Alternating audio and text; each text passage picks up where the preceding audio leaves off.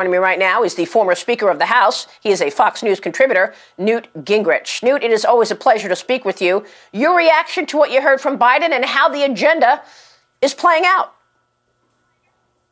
Well, look, I, I think from his perspective, he decided he had a chance to be probably the most powerful Democrat since Franklin Delano Roosevelt, and he's going for broke. Uh, that, that's his prerogative. Uh, the last two Democratic presidents lost their majority in the House in two years. I suspect that he'll lose his majority next year. Uh, but uh, in the meantime, I think what's really shocked most of us is the really left wing of the Democratic Party now is so much more radical than it was even under Obama.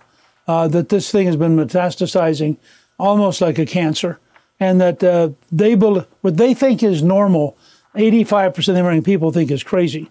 And I think that's going to lead to some very interesting fights.